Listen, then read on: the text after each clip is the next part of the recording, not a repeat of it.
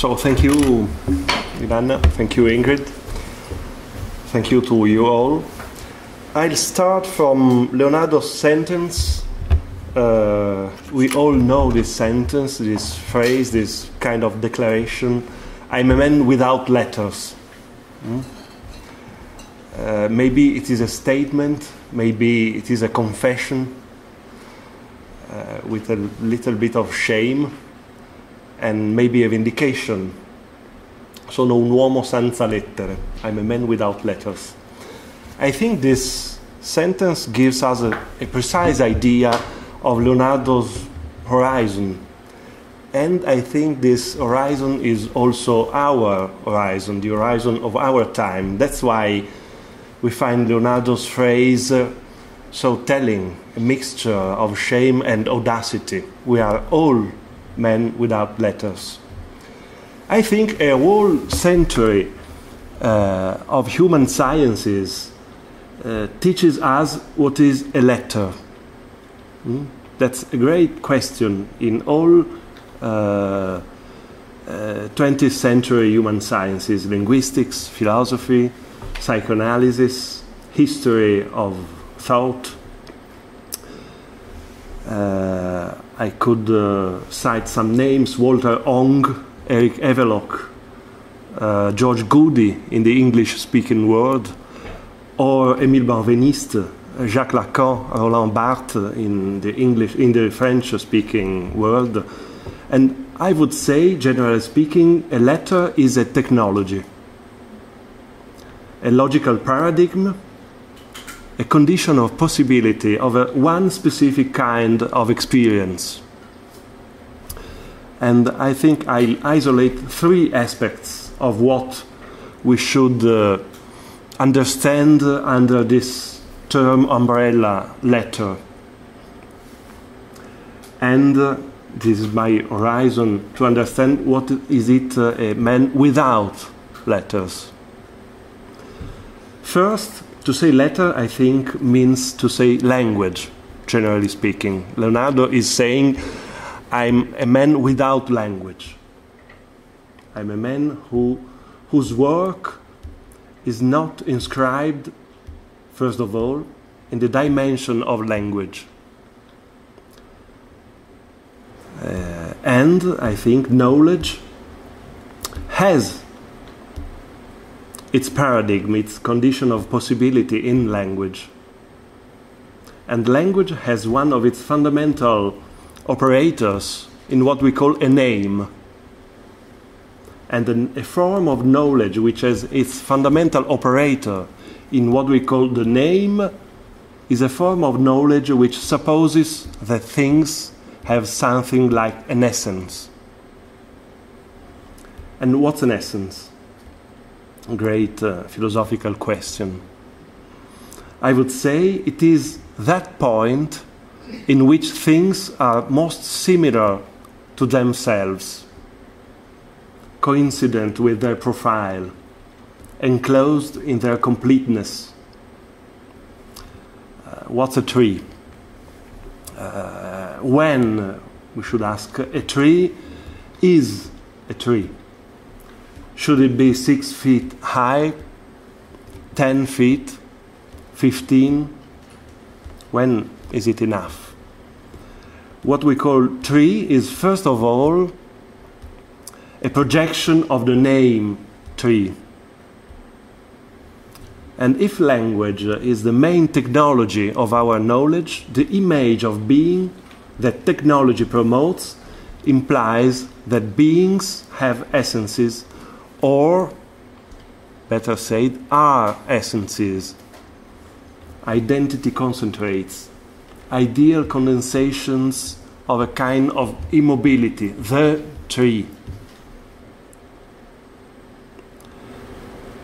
Second, to say letters is to say language, and a certain language, which is, for example, Greek or Latin in Leonardo's times. Now, Latin is first of all a structure, a grammar. And as somebody has said, I mean Roland Barthes, A grammar is something which obliges to say, it obliges to say in a certain way, according to the constraints of that grammar. It obliges, for example, to declare, first, first of all, a subject, then to link to that subject a predicate. And this means the predicate will be a second class object uh, linked to the subject in a quite accidental way. The predicate could be different, the subject would be absolutely the same. And this way, subjects become substance. Hmm? The grammatical subject becomes the fundamental matter of universe. Substance, uh, something that lies at the bottom, something fundamental. Subjectum in Latin, hypokeimenon in Greek, something lying at the bottom or behind everything. And predicate becomes accident or something unessential. So, a form uh, of knowledge uh, which has its condition of possibility in this grammar which has its main technology in this form of obligation to say, will speak of a universe which is made of subjects and objects, of actions where something which is in the position of subject operates on something which is in the position of an object. Uh, the sun warms the stone. This is Kant's famous example. This is something which continues for a century with this unilateral causality. All the activity is on the one side, all the passivity is on the other side. All the time is going, so to say, from left to right. And this linearity of being is the direct projection of that fundamental technology, the Greek Latin letters. Third, to say letters is to say a science, a culture which has language at its foundation and written language in particular. The condition of possibility is not only name, is not only one specific grammar, but a certain version of the name of the grammar. I mean written names, written language if the idea of being is always the projection of a certain technology, a man with letters, not Leonardo, not us, our time, but a man with letters will have a certain idea of being. Being will be organized as a written language. And the historians of Greek and Latin culture, Eric Havelock, for example, have shown this link between the fact that Greek and Latin people wrote thanks to an alphabetical technology and not, for example, an ideographic technology. We are not Chinese, but we are becoming Chinese, but we are becoming Indian, but we are becoming Arab, which is a syllabic mechanism and not alphabetic. A link between the fact that Greek and Latin people wrote uh, thanks to an alphabetical technology and the fact that they develop a kind of implicit or explicit atomism. It is not by chance that the letters and the atoms have the same uh, word in Greek, stoicheion. Stoicheion is a letter of the alphabet, the first element or ultimate element of language, and the first or ultimate element of matter, of the universe, stoicheion, stoicheia. Sure, Plato is not uh, an atomist, but we could say his whole project is an atomism of ideas and not of unities of matter, and that his whole problem is to put it in connection, in communication, those atoms which are his ideae, his ideas. And it is the very same of Democritus, the great atomistic thinker, the, the great alternative to Plato, whose great uh, problem, Democritus' great problem, was to put in contact his atoms, to give an account of the formation of the aggregate, of the mixture of the metamorphosis. Plato's solution will be the concept of methexis, of participation. Democritus' solution will, be, will be the concept of clinamen, of inclination. But what I find absolutely telling is the problem they share, in spite of their immense difference. They are facing the same difficulty. They strive to imagine movement, transformation, passage from one state to another. They strive to think a whole class of things which lie outside the perimeter of the essence and of the grammar of the essence, of the technology they are acquainted with. They have essences, identities, immobilities, and strive to think the inessential, the non identical, the floating element. Le signifiant flottant de Lévi-Strauss, de, uh, de Lacan. They can only think the essential, the letter, the tree which is literally a tree. But a tree is never a tree, literally. The tree is always becoming a tree, if anything. So, first point every system of science is a device, is a technology, a condition of possibility, and in a certain way, a condition of necessity for one specific ontological projection, for one specific experience of the world. Tell me what your signs are, and I will tell you what idea of being you must develop, and also what kind of operations you will be able to develop with that kind of being or beings.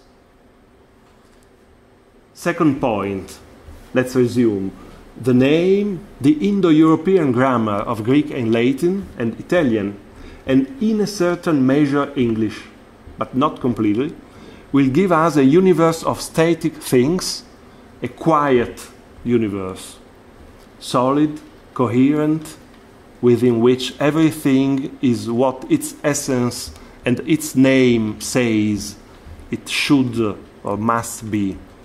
Everything is, so to say, apud se, near to itself. Third point, this is to say that being is discrete within this paradigm and uh, on the basis of this technology. Universe is made of detached pieces and not of a continuous fabric. These pieces are coincident with themselves and only in a second time they can, they can give birth to aggregates, undergo a process, and know something like a metamorphosis. The aggregate, the mixture, the process, the metamorphosis is un- inessential, unessential. And the inessential is not an object of science or an object of technology. The inessential is not, generally speaking. Let's now imagine that all of this fades away. Let's now imagine a man without letters and a mankind without letters, a whole culture without letters. Letters are not the main access. Literacy is no longer the only mold of being. And our operation our operations are not always mediated by letters, they don't apply to discrete objects. This is Leonardo's condition. I'm a man without letters, sono un uomo senza lettere. He is without letters. He has the art of drawing, the art of painting. And this is also our condition. We have new languages which are called languages for a kind of laziness. Our new languages are not languages in any way. They don't, they don't carry with them the dimension of the name, of the subject predicate grammar, the spontaneous atomism of alphabetic writing, the spontaneous vocation to immobility of essentialism. We have other system of science which give birth to new kind of objects which first of all are not at a closer look objects the inessential becomes essential the essential becomes something that has no essence the vague the fluid the undecidable the mobile the floating the becoming the metamorphic. This is our essential. Think of how many things, how much of our knowledge, of our sciences, of our technical applications emerges from graphic modeling, mathematical writing of the continuous, hmm? virtual projections of series of events these graphic technologies, these mathematical writings are the new conditions of possibility, the new paradigm of being and of the experience of being. And what they offer to us are not objects, but processes. Our being is made of topological transformations, is not a substance, hypokeimenon, subjectum, something lying uh, self identical, ultimately at the bottom of all things. It's not a substance, but a kind of continuous morphogenesis. We have only the surface of a form without matters, without substance. We should study what is topology, and uh, topology as a condition of possibility. Hmm? as a lens through which we create things, not as a description, as a prescription. We should study what is a differential equation and what kind of being it designs. We cannot do this here. I attempted to do this elsewhere. But no doubt, the first consequence for someone who remains senza lettere, without letters, is that all our conceptual oppositions, which descend directly from the idea of a discrete being, lose completely their grip on reality. Uh, subject and object, the idea that something is the active element and something the passive element, the difference between inside and outside the idea of causality, which puts on the one hand the subject or the inside, and on the other hand the object or the outside, and the opposition with, between form and matter, or between male and female, all of which, all of that, what fixed was defined, and now is floating, is shifting uh, into its other side. And finally, there is no other side. There is only one side, folding and unfolding. There is one and only metamorphosis, one and only thing which happens in multiple and simultaneous variations. That's our being, that's the being of a mankind without letters. Mankind. Uh, uh, which thinks through graphic modelization and differential equations or system of equations, differential calculus. So let's come back to Leonardo. What kind of being is designed by drawing? What kind of being is designed by painting? His way of drawing, his way of painting.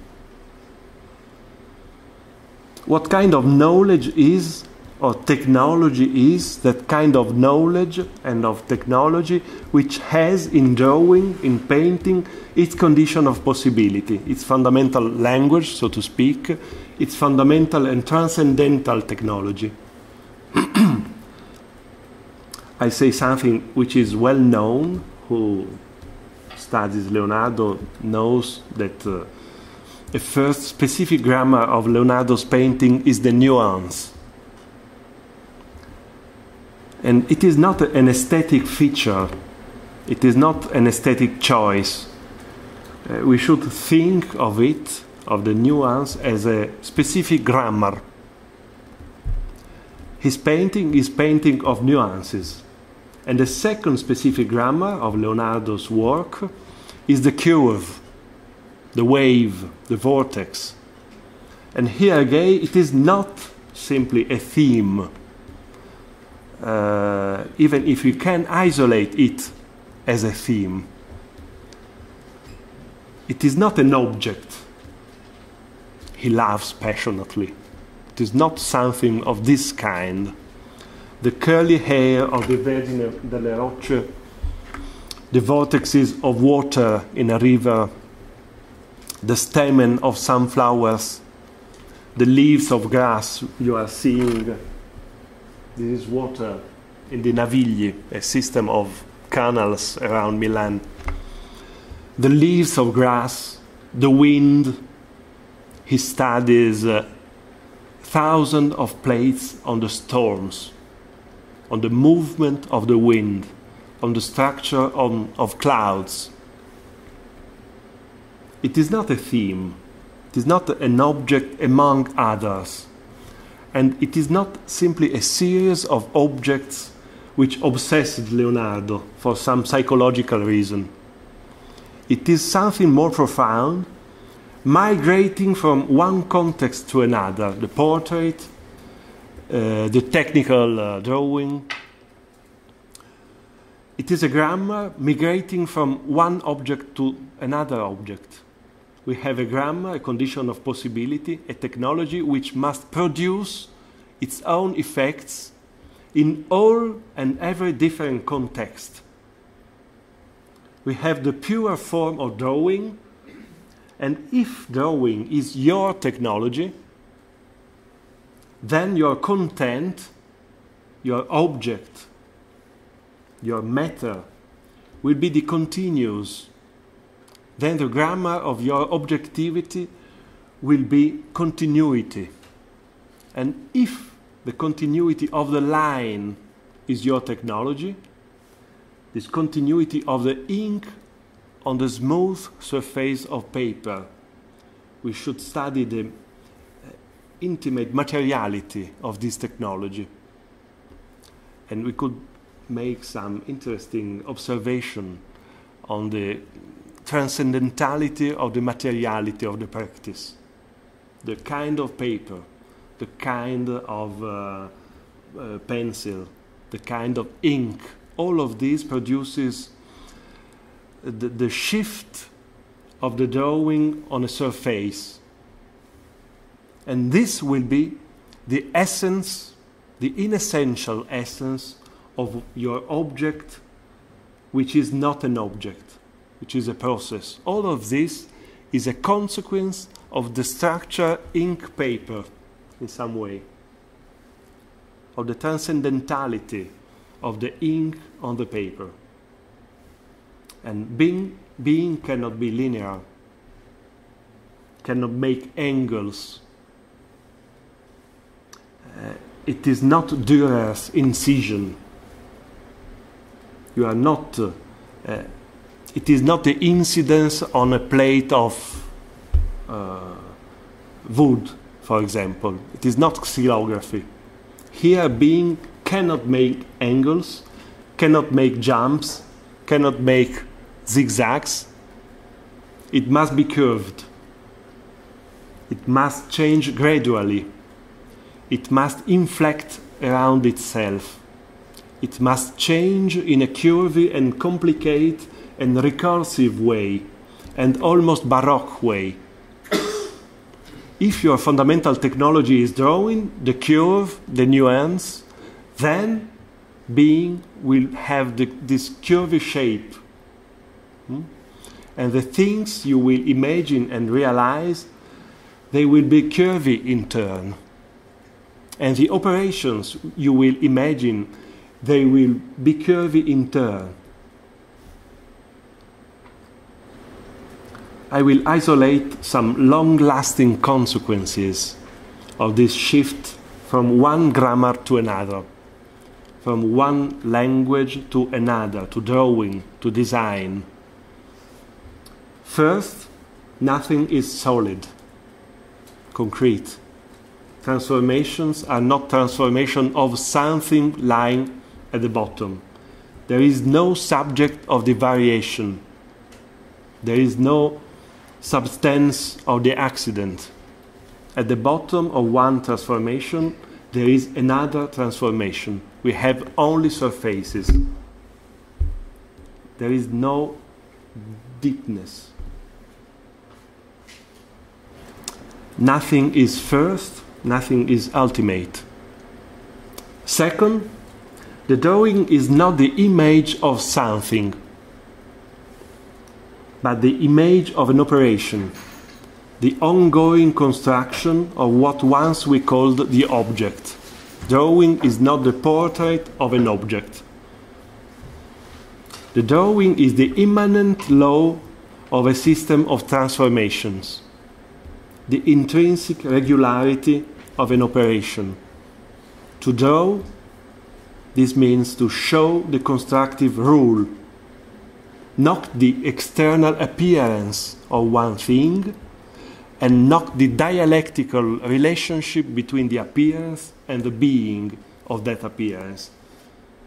We have no opposition between appearance, aesthesis, aesthetics, and being, the profound uh, essence of things. It is all floating on a one dimensional surface. To draw is to construct something, not to photograph and portrait something, not to show its already completed construction. Drawing is not after the process, after becoming has made his course, his process. And since there are no objects, there are no subjects. We are not subjects. We are no longer in the position of the subject. When we draw, when Leonardo draws, we are the non subjective, the anonymous interceptor of a non objective, an anonymous operation. Third, technology is no longer the application of an already formulated knowledge. And knowledge is no longer the static contemplation of an object, which will be transformed by a technician.